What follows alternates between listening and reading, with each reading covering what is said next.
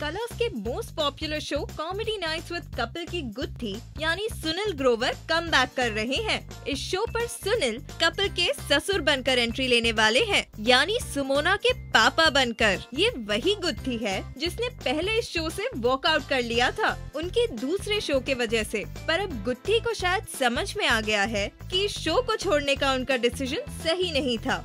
चाहे जो भी हो हमें तो इंतज़ार है सुनील और कपिल को स्टेज शेयर करते देखने का क्या आपको लगता है सुनील की ये पारी सक्सेसफुल होगी क्या सुनील को आप कपिल की सास के रूप में देखना पसंद करेंगे आपके व्यूज़ कमेंट्स के साथ पोस्ट करके वीडियो लाइक करना ना भूलें Hi, this is Sarah Khan. You're watching Telly Masala. Keep watching.